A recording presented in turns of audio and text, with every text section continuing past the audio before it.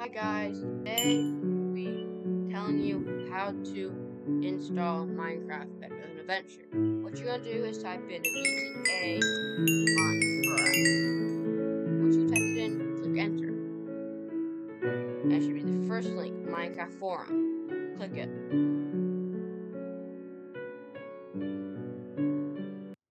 Just load up this page, and what you would do is scroll down. You will download the Minecraft multi-MC instance, which I've already downloaded. So click that link, yeah, download that, and then you click multi-MC, and you download that.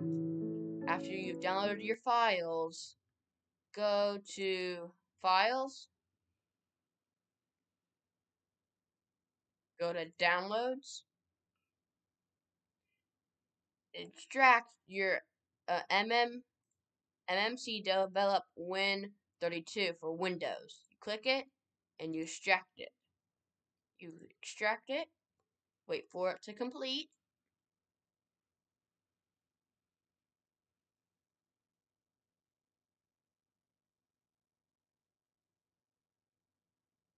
Then so now it will pop up with now it will pop up with the inside the zip file.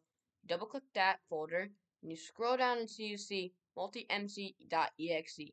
Double click this file.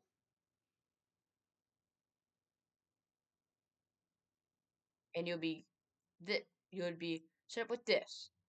If you select your language, my language is American English, so I'll select that. Select your language. Go next.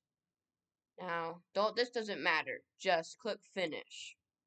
Then this will add this will um pop up. Once this happens, click add instance, click import from zip, and click browse. Then you go to where you saved it. I saved it in downloads. Then you click the uh better than adventure. You click open. Then it'll be done. Then you click OK. And there you go. And then you're also going to have to log in to your account. So, yeah. Hope you guys found this nice and stuff. See you later.